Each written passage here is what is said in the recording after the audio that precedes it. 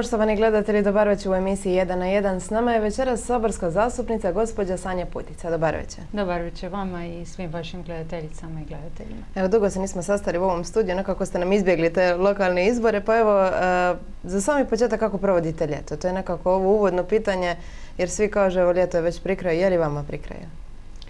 Pa ne, provodim ga vjerojatno uobičajeno kao i, i svi ljudi koji se bave nekim javnim poslom, iako percepcija javnosti o nama saborskim zastupnicima baš i nije pretjerano pozitivna što se tiče tog dugotrajnog godišnjeg odmora, ali e, mogu reći da ga provodim u svakodnevnom kontaktu sa svojim sugrađanima, u obiteljskom krugu. Znači doma ste, niste nigdje drugo otputovali? Nisam, nisam. Da, to što ste rekli, saborski zastupnici nekako uvijek imaju tu negativnu konotaciju. Ili govorimo o vašim plaćama ili govorimo o tome koliko trošite na putne troškove. Koliko zapravo imate odmora? Jer evo neki se odbori već sad sastaju tijekom ljeta ili se vaš odbor e, morao sastati? E, moj nije. Odbori su se sastajali u nekim izvanrednim situacijama kao što su bila i ova sigurnosna pitanja tijekom požara i ostale situacije koje su događale u politici ali e, ne mogu reći da je malo odmora. Lagala bih dakle kad bih to rekla, ali e, nekako doživljavam taj posao saborskog zastupnika ne samo kao sjedenje u saboru, nego prvenstveno bi saborski zastupnici morali biti onaj nekakav e, prvi kontakt našim sugrađanima u Zagrebu, otvarajući razna vrata što privatnim, što ovoga, fizičkim osobama i tako, evo, mislim da je to treba tako doživljavati. Da, ima vas puno, sjednice su duge, pa zapravo ne, ne fokusira se pojedinac previše na... Tako, imate svoje točke koje vam klub dodijeli da ih imate u svojoj raspravi. E, sve ostalo je zapravo vaš posao u odborima, u nekom javnom, općenitom djelovanju, pa i kroz medije. Ja bih rekla da je posao i saborskih zastupnika jedan kvalitetan odnos e, s medijima. Da, jako već često vidimo e, razne imena se se također koristila za različite saborske zastupnike. E, sad sam vas predstavila kao saborsku zastupnicu. Međutim, međutim, vi ste bili donedavno pomoćnica ministra Pava Barišića dok je još on bio na toj poziciji. E, nismo uspjeli do, vas još doći prije, pa evo kakva su iskustva? Kako je to izgledalo tijekom e, tih, eto, to neko vrijeme dok ste bili na toj poziciji? Pa to je jedno iznimno dragocjeno iskustvo u, u mom nekom političkom putu. E, nakon što sam zapravo upoznala cijeli sustav, rekla bih s ove strane i škole, i iz razreda i iz ravnateljske funkcije, raditi u ministarstvu bilo je jedno iznimno iskustvo. E, suradnja s ministrom je bila iznimno kvalitetna. Mislim da smo u tom njegovom mandatu e, započeli dosta stvari koje su značile preduvjete za provedbu kurikularne reforme. To je jedan iznimno težak posao, vrlo operativan, vrlo dinamičan i dosta različit od saborskog posla. Kad spomenemo gospodina Pava Barišića, nekako uvijek idemo na onu negativnu konotaciju, pa evo, vaše su iskustva očito sasvim drugačije. Pa naravno, dakle, kad surađujete s nekim onda ga možete i bolje upoznati. E, vidite da se dogodilo da i sveučilište u Augsburgu poslale ovoga Dakle, da nije bilo govora ni o kakvom plagijatu, kao što je i sam premijer i, naši saborski zastupnici govorili u Saboru. E, nažalost, već sam to i rekla u, u jednom trenutku za medije, da je taj slučaj pokazao da politika zapravo može biti vrlo, vrlo okrutna prema čovjeku kao pojedincu i njegovom političkom i profesionalnom smislu, što nikako nije dobro. Međutim, evo imamo fenomen jedan u Hrvatskoj. E, imenovani su neki ministri, nađe im se nešto ne tako pohvalno i nekako se uvijek čeka prije nego što oni daju ostavku. E, premijer ih štiti, zatim oni odu, pa evo ispadne da, da možda čak i nisu morali otići. E, sam gospodin Barišić je rekao da mu je premijer nudio ostanak. E, je li on trebao otići ranije? Bili se čuvao onda obraz, bili stvari bile drugačije? To je zaista nekako osobna procjena. Nekome, neko može podnijeti zapravo takav jedan javni linč, ja bi rekla netko ne može. Ali što se tiče e, čuvanja ministara, kao što ste rekli, to je potpuno normalno i prirodno. Premijer je došao e, tražiti određeno povjerenje saborske većine pri glasanju vlade i normalno da će štititi pojedince koje je on sam predložio i izabrao. Jel? Tako da, s druge strane, treba računati na to da Hrvatskoj treba jedna politička stabilnost i da odlazak bilo kojeg ministra e, znači dodatnu destabilizaciju, što u ovom trenutku nikako nije potrebno, posebno kad imamo ovako kvalitetnu i dobru turističku sezonu, kad vidimo da nam sve ostale gospodarske, ekonomske, financijske brojke idu na ruku, e, ne bi bilo dobro ovaj, doprinositi nekoj dodatnoj političkoj destabilizaciji. Zato možemo mi puno bolje, je tako? Kad govorimo možemo, o gospodarskom uvijek, rastu. Uvijek možemo bolje, uvijek možemo bolje. To vam je tako kad je jedna grana zapravo gospodarstva najrazvijenija, kad ona vuče sve ostalo, ali nadam se da će se napraviti određeni pomaci i u poljoprivredi, kao što se i sada rade i u građevinarstvu i svemu onome što zapravo Hrvatska može ponuditi. Da, to bi bila jedna utopija svakako. E, ministrica Divjak, vaše mišljenje o njoj? Kad me pitate za mišljenje, nekako mislim da me pitate nešto osobno. Ja nju zaista ovaj, dovoljno kao dobro... profesionalku, ili bili ste pomoćnica ministra pa da. malo ona je, ona je došla, ja nisam imala prilike s njome ovaj, surađivati. E, ono što vidim da se nažalost još uvijek događaju određeni sukobi i unutar samoga ministarstva, ali i kroz medije. Mislim da te stvari koje se tiču naše djece, dakle najosjetljivije, rekla bi, skupine društva, nikako nije dobro razvlačiti kroz medije. E, ljudi u ministarstvu su tu da operativno odrađuju svoj posao, da e, osiguraju zapravo daljnju provedbu kurikularne reforme, unapređenje hrvatskog sustava obrazovanja, a nikako da se prljavi veš iznosi u medije. E, nažalost, imamo različita mišljenja u posebnom stručnom povjerenstvu na čelu kojega je rektorica Zadarskog sveučilišta gospođa Dijana Vican, koji je i sam premijer imenovao na tu funkciju. S druge strane se očito nalazi ministrica sa svojim stavovima a sad ćemo vidjeti što će se dogoditi za početak e, zasjedanja Sabora jer i kroz saborski odbor treba proći prvo akcijski plan koji je elementarni dokument za početak provedbe kurikularne reforme. E, ne sviđa mi se takva atmosfera oko reforme, oko sustava obrazovanja. Zaista mislim da se tu moramo dogovoriti, svi zajedno sjesti za stol i postići jedan opći konsenzus jer bez toga se neće moći ići naprijed.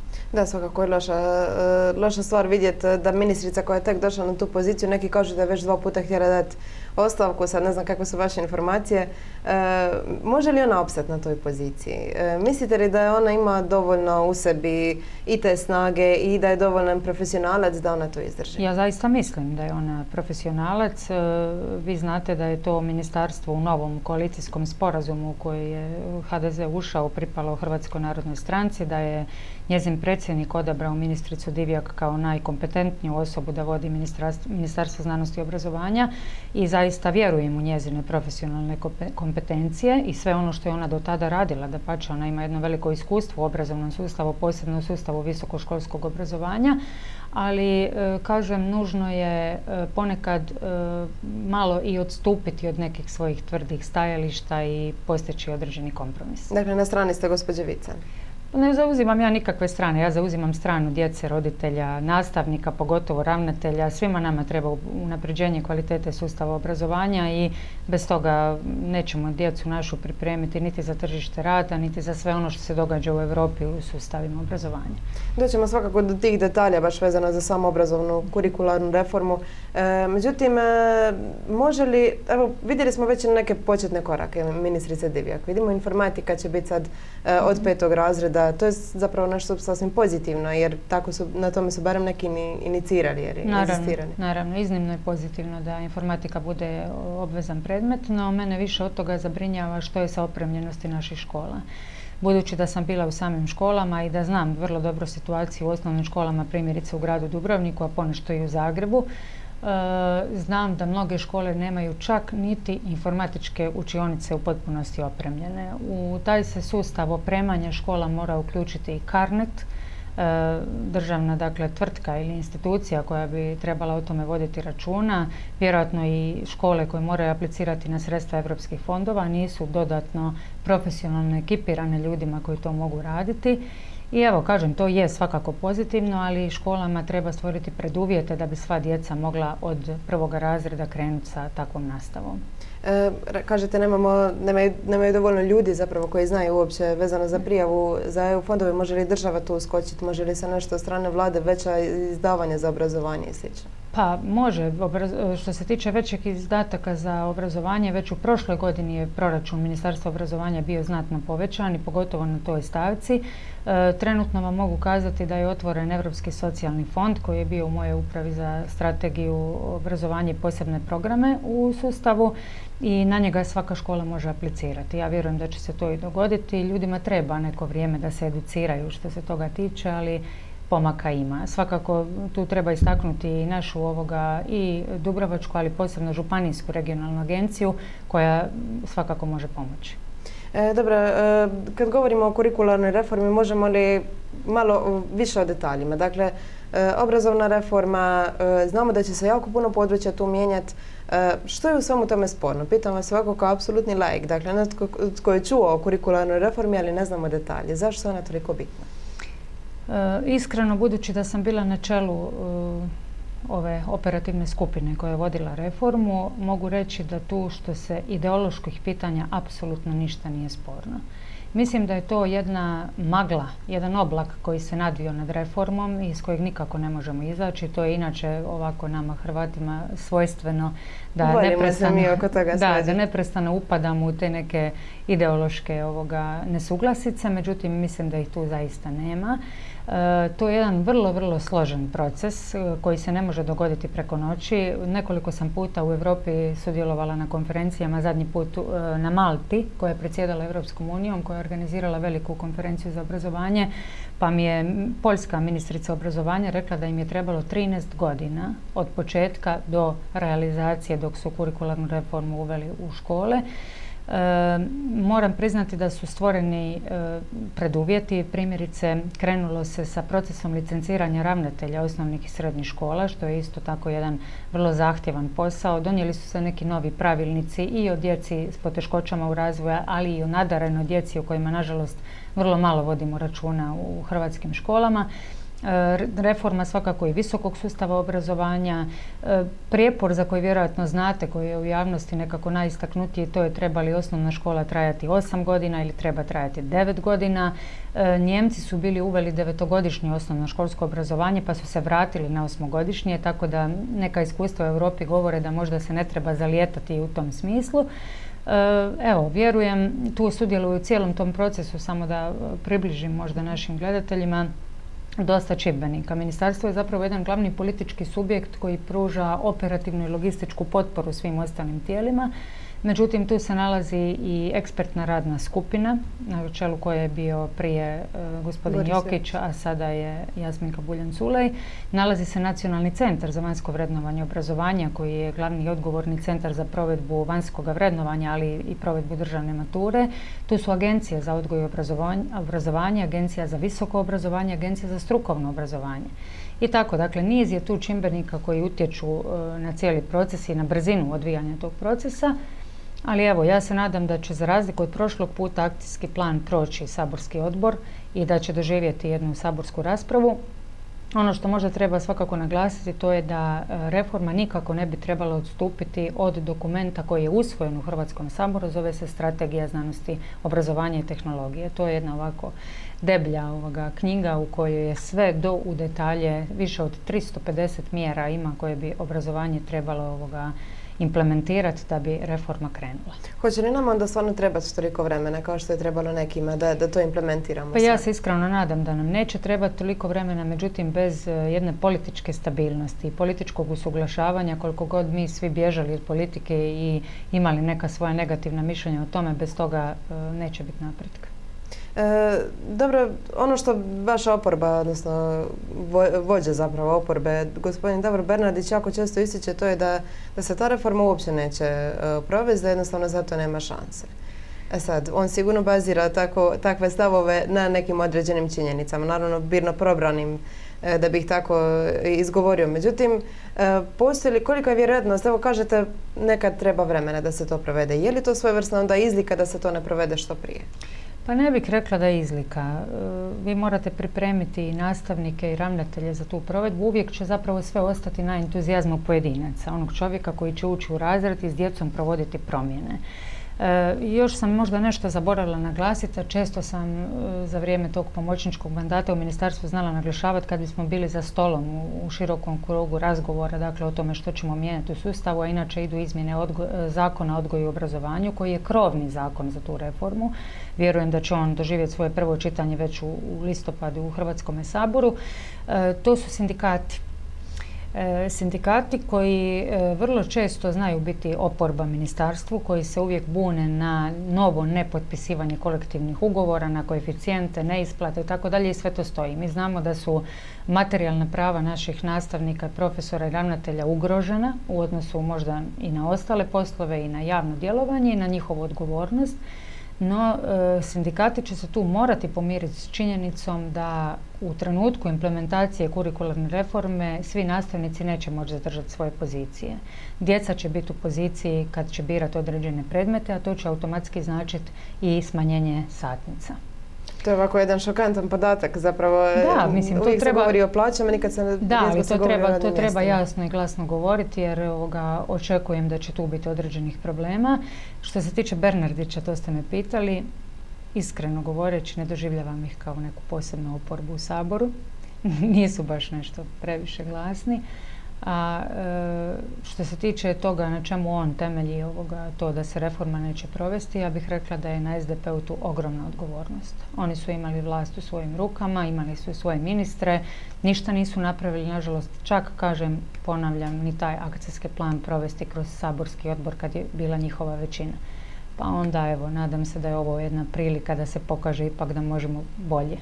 Kažete da nisu glasni, zapravo smo vidjeli dosta svađi. Mislim da nitko nikad u povijesti nije toliko pratio Sabor koliko se sada prati svaka sjednica. Možda zbog e, Ivana Pernara, možda zbog gospodina Marasa, možda zbog e, gospodina Bulja.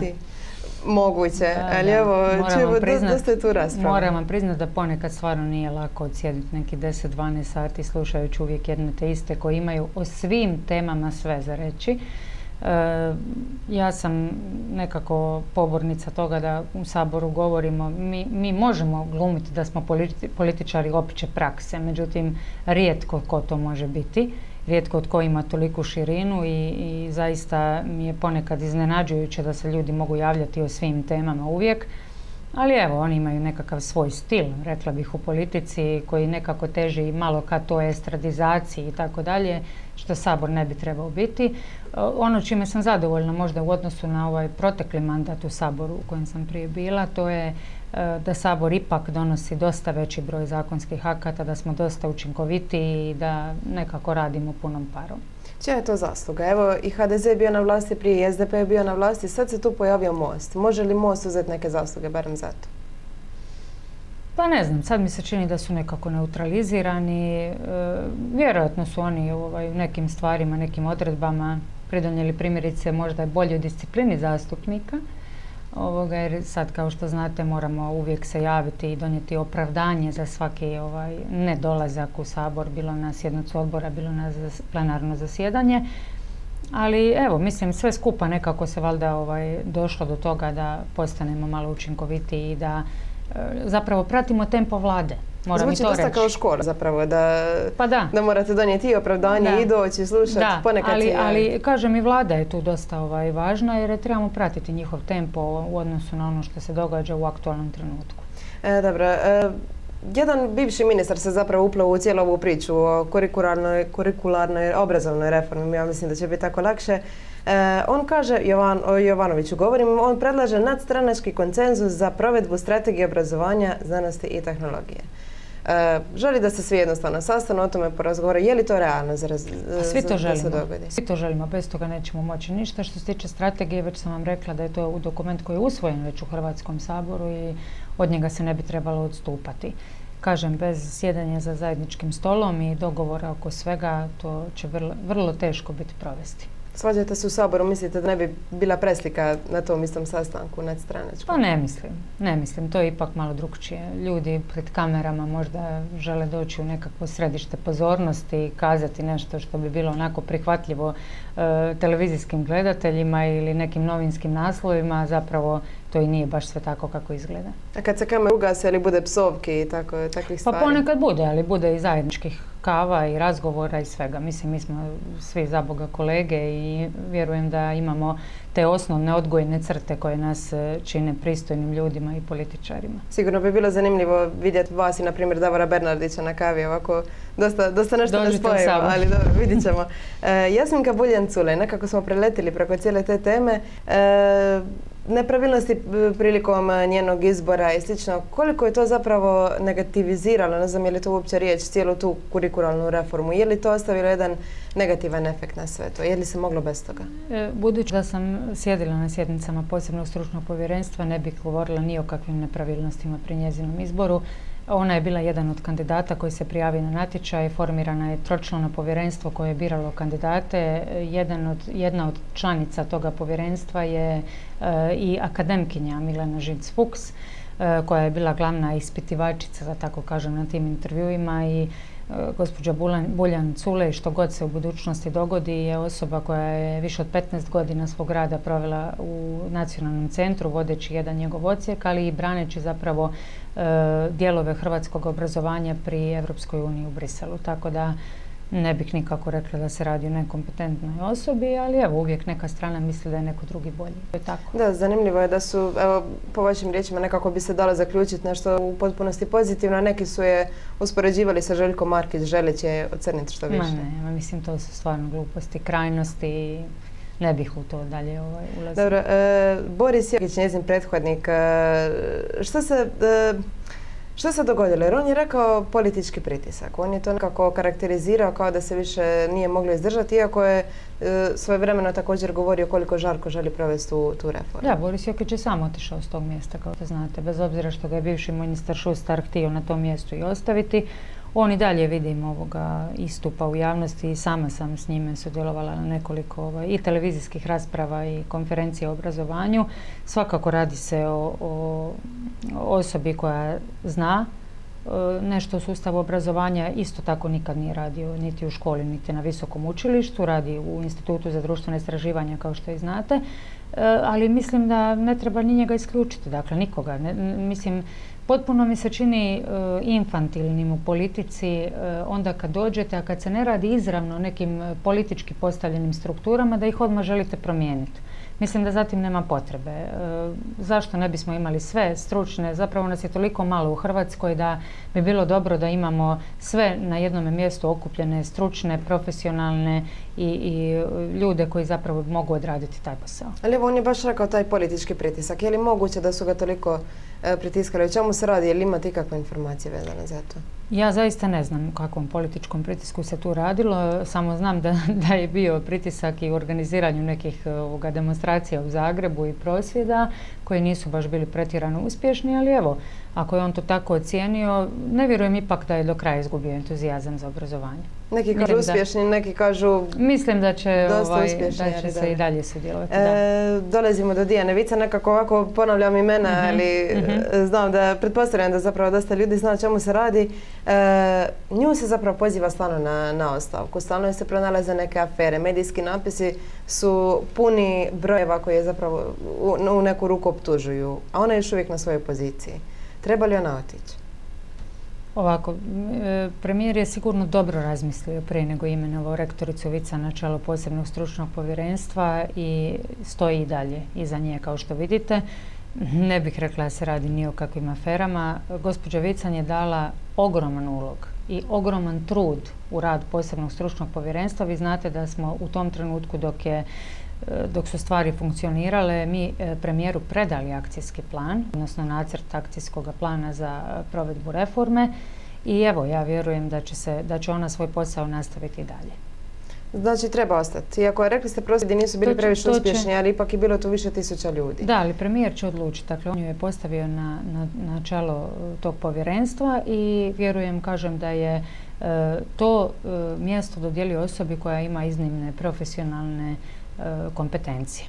Ona nije osoba koja je izravno u politici i ne vidim problem dakle, u njezinom ostajanju na tom mjestu. Dakle, onda ćemo ignorirati ljude koji su prosvjedovali. Ja ne znam, mislim, u Hrvatskoj valjda ovaj, svi misle da imaju pravo na nekakve prosvjede, promjene, što naravno imaju, ali ne mora znači da će se poštovati uvijek e, volja ljudi koji prosvjeduju. Dobro, e, treba li je, e, već sam to pitanje nekako postavila ranije, vidimo da premijer dosta štiti ljude e, koje postavi na određene pozicije, vidjeli smo to sa ministrom Marićem, sa Pavom Barišićem kojega smo ranije spominjali, štiti i nju. Zašto je toliko štiti? Pa vjerojatno zato kažem što je dobro odvagnuo koji su to ljudi kad ih je postavio na pozicije i e, čovjek koji ima svoj politički i profesionalni integritet kao što ga ima e, premijer Plenković ne želi odstupiti od svog početnog stava. To je za mene potpuno razumljivo. E, odmah to spuštam i na svoju razinu pa znam kad sam imala nekakvu, nekakvu poziciju koja je negdje čelna da u prvom redu štitim svoje ljude bez obzira što bi se dogodilo prema vani, bilo kakav recimo napad na školu ili na, na bilo kojeg svog učenika. Dakle, u prvom redu idete ka tome da zaštitite njih, a onda, zato što vjerujete u njih. Jel? Ali ako bi se reklo da je učitelj učinio nešto što nije trebalo? A to je druga stvar, kad se nešto dokaže, onda je to dokaz. A kad nije dokazivo, onda dobro, zbog pritiska javnosti Biljana trebala odstupiti samo tako da bi otvorila poziciju za nekoga jednako stručnog, a opet da ne bude tolika buka u javnosti. Mislim da u, takvom jednom velikom procesu kao što je kurikularna reforma ima mjesta i za Dijanu Vican, i za gospođu Buljan Culej, i za Borisa Jokića, i za bivšeg ministra Mornara, i za sve one koji imaju iskustvo u obrazovanju. E, tko će na kraju prevagnuti? Što mislite? Ministrica ili e, gospođa Vican? Jer neki kažu ukoliko padne ministrica, pada i cijela vlada, pa onda hoće Vjerujem li premijer toliko riskirati? Vjerujem jedna druga. Radi boljitka ovaj, cijele države i cijeloga sustava. E, vi znate, mislim, što se tiče ovaj, stabilnosti uopće vlade i svega onoga, svih odluka koje vlada donosi, da ona ovisi o saborskoj većini. A saborska većina je dosta stabilna i mogu reći da vjerujem da će se to očuvati do kraja mandata. Pod svaku cijenu? Pa neće biti po svaku cijenu. Premijer Dobro, pitan zbog prosvjednika zato. Da, on je razuman i, vjerojatno će ocijeniti u kojem trenutku treba povući određene poteze, ali za sad još nema razloga za to. E, spomenut ćemo, e, rekla sam ranije, neki su se odbori sastali tijekom ljeta i tako. Vi ste također članica odbora za znanost, obrazovanje i kulturu. Kad kažemo članica ste odbora, nekako zamišljamo nekoliko ljudi koji sjednu e, svake prijestupne godine, popiju kavu, malo pročakulaju i prođu dnevni red i to je to. E sad, koje su vam aktivnosti, kakvi su vam planovi? Ne, ne, saborski odbori rade gotovo svaki tjedan i njihov rad je utorkom, eventualno srijedom ujutro prije početka zasjedanja plenarne sjednice. Sastaju se po potrebi tijekom sjednice. E, to su vrlo službene sjednice koje prate mediji, uvijek, gotovo su uvijek otvorene za javnost, osim ako je neka delikatna točka dnevnog reda i tu se raspravlja o e, zakonima koje vlada predlaže Saboru na donošenje. Ne samo o zakonima, tu se zna e, raspravljati i o izvješćima primjerice izvješća pravobranitelja za djecu, za ravnopravnost spolova i tako. Ovisi dakle što je u ingerenciji tog određenog odbora. Jeste onda raspravljali na primjer o slučaju Severine i tako dalje? Na odboru za ravnopravnost spolova, da. Dobro, i to, to nisam htjela otvarati tu temu jer je to za jednu novu emisiju, apsolutno, pa, pa ćemo to onda ovako lagano izignorirati. Dobro, dakle imate neke određene aktivnosti. Svakako, e, gotovo svaki tjedan. Jer se dogodilo nekada da je neki zakon zapeo baš kod vas, da ste ga kritizirali, da se nešto tu U ovome sazivu ne, ali prije da. Prije da. U koji je to bio? Pa ne mogu se sad sjetiti, ali neki zakoni znaju zapet. Svakako, onda se oni e, šalju na doradu ili u drugo čitanje ili se e, daju amandmani. Vi vidite sad da je recimo klub Mosta ili neki drugi stranaka dao po 40 amandmana na jedan zakon i tako. To traje. Dakle, I, I čitanja također traju, ali pratimo i budno ih pratimo. E, spominjemo MOST, spominjemo HDZ, nekako smo stavili sa strane taj HNS i činjenicu da, da se dogodila ta koalicija. Bila je nenadana, bila je nekima šokantna, nekima ovako dobrodošla. E, koliko je ona čvrsta, evo po vašem mišljenju? Pa mislim da je dovoljno čvrsta. Da ovakva vlada i takav jedan koalicijski odnos opstane do kraja mandata. E, mislim da tu nije bilo izbora. Tu nije bilo izbora, a posebno to mislim zato što Hrvatskoj definitivno nisu trebali još jedni izbori to bi donijelo određeni ovoga, novi politički pritisak, vakum, nestabilnost koja nam zaista ne bi bila potrebna. Ne mislite da bi HDZ možda profitirao na tim izborima? Pa, mislim da bi mi imali možda još veći broj mandata, ali nije bilo potrebe za tim. Dakle, ovako je stanje sad svakako ovoga održivo. Postoje vjerojatno određene neke nesuglasice koje vjerujem da će se riješiti, kao što je primjerice ova kurikularna reforma ali nije to loše za određene stranke da se malo uče političkom iskustvu. Nekako smo prešli na onaj zapad, primjenjujemo njihova pravila. E, kad govorimo upravo o vama, vi ste dosta rano počeli svoj politički put. E, počeš i od, ako se ne varam, srednjoškolskih dana i tako dalje. E, HDZ također prošao jedan turbulentan put, bilo je tu i bivših premijera i trenutnih zatvorenika i slično. Jeste li vi nekad oklijevali? Hoćete li ostati u stranci, hoćete li ostati u politici ili ne? Nikad. Nikad. Moram priznati da sam se zaista uvijek čudila ljudima koji su parali stranačke iskaznice. E, nikome od nas niti u životu, pa tako ni u politici, ne je uvijek uzlazna putanja ali e, stranku po meni ako ste zrela osoba ne birate po tome hoće li vama tu biti dobro ili neće, nego po nekim njezinim temeljnim vrijednostima radi koji ste ušli u stranku. Nekoliko puta sam rekla da je gotovo meni HDZ i, ovaj dio kućnog odgoja, ali e, nikad, dakle apsolutno nikad nisam razmišljala, nije uvijek baš bilo e, sjajno i onako kako ste vi zamislili, ali zatim nema nikakve potrebe. I u ostalom kad ste u politici morate biti spremni na određenu disciplinu. Što vam je bilo najteže? Ako pogledate sad taj politički put, bilo je sigurno i nekih medijskih natpisa i e, nekih dvojbenih situacija ili pamtite nešto što vam je baš bilo ovako pa on, teško?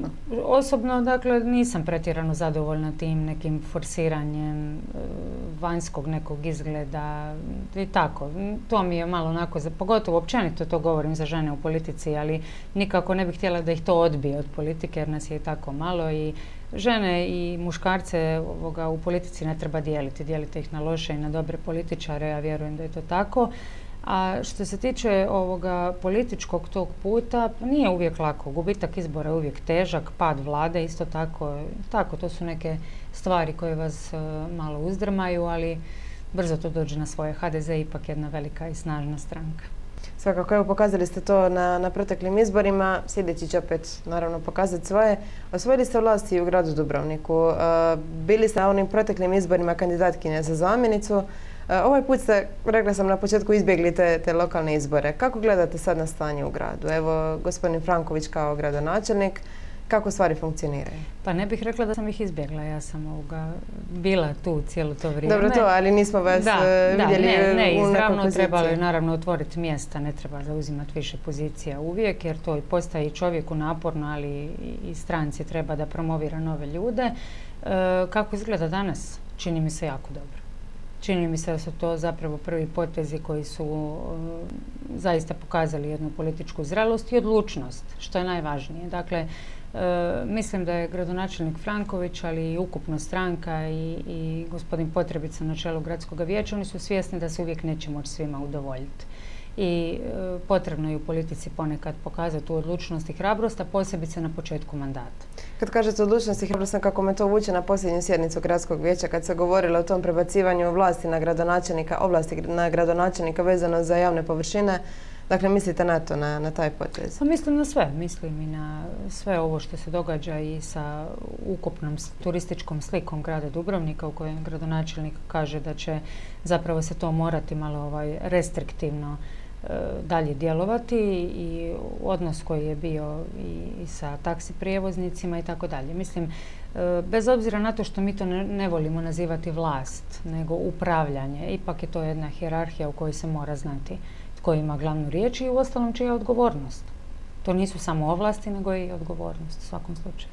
Vjerujete u sljedeći mandat njegov? Vjerujem. Hoćete li biti možda kao, kao zamjenica pa kojim vidjet slučajem? Vidjet ćemo kako će se stvari dogoditi. Sad je to izvrsna situacija ovdje da imamo i gradonačelnika i župana koji je ponovno izabran tako da HDZ tu ima jedan određeni kontinuitet. Kao što znate upravljaju gradskim vijećem pa je sigurno ovoga e, imamo dosta spoznaja u svemu onome što se dotad događalo u gradu i evo sad treba početi raditi.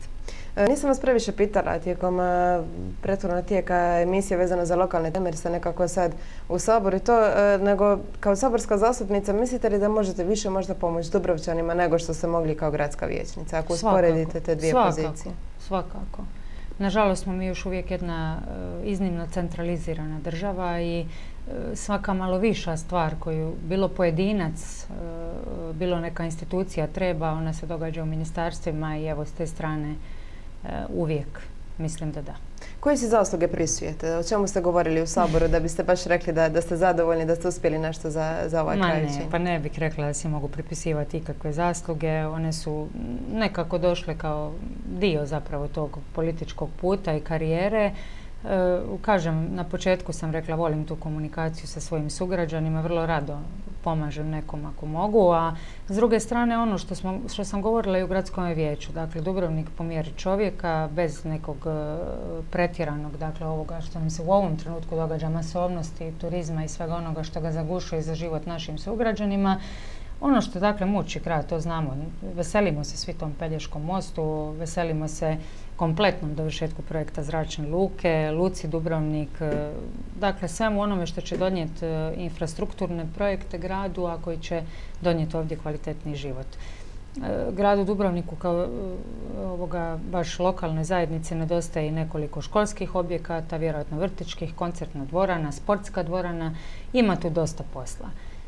Ali evo idemo korak po To bi bili neki temeljni problemi, barem pa što se tiče vašeg područja, ali se može tu što učiniti, na primjer, e, kroz vladu, da malo e, vlada, jer stvarno govorimo o tim davanjima, pogotovo tijekom e, izborne kampanje za lokalne izbore, moramo davati manje Zagrebu, moramo zadržati što više novca u Dubrovniku. Pa dobro, ne treba na Zagreb maćehinski gledati. Mislim, Dubrovnik ima ogroman proračun, gotovo 500 milijuna kuna i dovoljan mu je za sve velike projekte, ali treba svakako pomoć ministarstva, što se vidi u ovom. Mislim da je ova nova vlada napravila velike iskorake, pa samo potpisivanje Pelješkog mosta je već jedan izniman korak naprijed. Dugo se to pripremalo, je, je. E, dobro, e, bili ste e, dosta bliska suradnica gospodinu Karamarku. E, jeste li sad već u kontaktu s njime, odnosno još uvijek u kontaktu? Pa rijetko ako je to nekim slučajem ili tako, koliko čujem on je otvorio ovaj svoj institut u Zagrebu koji se bavi određenim istraživanjem, organizira neke javne tribine i tako vjerujem da je fokusiran na te poslove. Zvuči ovako hipijski, organizira neke tribine i tako. Pa je, koliko ja čujem, nisam na njima sudjelovala. E, mislite li da će se on vratiti možda u aktivnu politiku? Pa zaista ne znam. To bi bilo na razini nekih spekulacija, zaista ne znam. A Milanović? Ne znam ni to. Ne mogu vam to reći. Vidim da se on pojavljuje malo češće u medijima. Sad što će se događati, kažu na predsjedničkim izborima, vidjet ćemo. E, vidimo sad da nekako se izgubio taj pojem nekog vođe, e, pogotovo na političkoj sceni. Vidjeli smo Iva Sanadera da je bio ovako dosta nadmoćan jedan vođa. Je li Andrej Plenković ima te kvalitete, kad govorimo samo o kvalitetama vođe? Pa kvalitete sigurno ima, čim je izabran i na unutar straničkim izborima, na parlamentarnim izborima premoćno. E, ako me pitate da ovoga, dam neke osnovne karakteristike, tu se vidi jedno iznimno političko iskustvo koje baš Hrvatskoj treba, vezano je naravno i za Europu i na naš odnos sa Europskom unijom, ali i svakako jedno obrazovanje koje je išlo od malih nogu. Je li se moglo spriječiti možda neke situacije? Evo vidjeli smo tu situaciju sa gospodinom Tolušićem, sa ministrom koji je ovako nešto dosta recimo nepromišljeno učinio, pa time možda naškodio e, odnosima sa pa, susjedima pa, i slično. Pa vrlo teško ovoga... Je li on kao vođa trebao predvidjeti te stvari pa ih možda spriječiti? Ha, mislim, vrlo teško je uvijek kontrolirati sve situacije. Mislim, to je normalno u politici da se tako događa, ali ne bih rekla da je to neka, neka strašna sad bila ovaj, neki strašan prijestup. Vjerujem da će to sve ići normalnim tijekovima i da će se naći jedno ovaj, kompromisno rješenje. Kako kome? Nekima je bilo to velika greška, nekima nije. No dobro, e, završit ćemo emisiju e, sa pitanjem što, jeste li vi možda došli do tih, svojih nekih političkih ciljeva? Kažete, išli ste od samog početka, od same lokalne razine, pa ste onda došli do, do te neke nacionalne kao saborska zastupnica. Je li to to ili idete dalje? U politici općenito mislim da ne treba imati nikakve pretjerane ambicije. Biti saborski zastupnik iznimna je čast, e, velika odgovornost, ali volim taj posao i inače volim komunikaciju s ljudima, tako to doživljavam. Što će se u budućnosti događati ne ovisi samo o meni. Dakle, ovisi i o stranci, ovisi o budućim pobjedama. A čemu težite? E, pa mislim, evo, inače volim taj dio obrazovanja, kulture i nekako sam na tome odrasla, pa sam zadovoljna time što sam članica tog odbora u Saboru, što će dalje biti, ne znam, evo, preuzela sam i taj odbor koji je e, izaslanstvo u Vijeću Europe, pripremamo se za hrvatsko predsjedanje u prvoj polovici 2020. godine i to će biti isto jedan izazov. Puno posla. Da. Dobro, to nikad nije loše, od posla se, živi, kažu. Hvala vam lijepa na gostovanju. Hvala vam. Poštovani gledatelji, hvala i vama na pažnji. Svakako ostanite dalje uz program Dubrovačke televizije.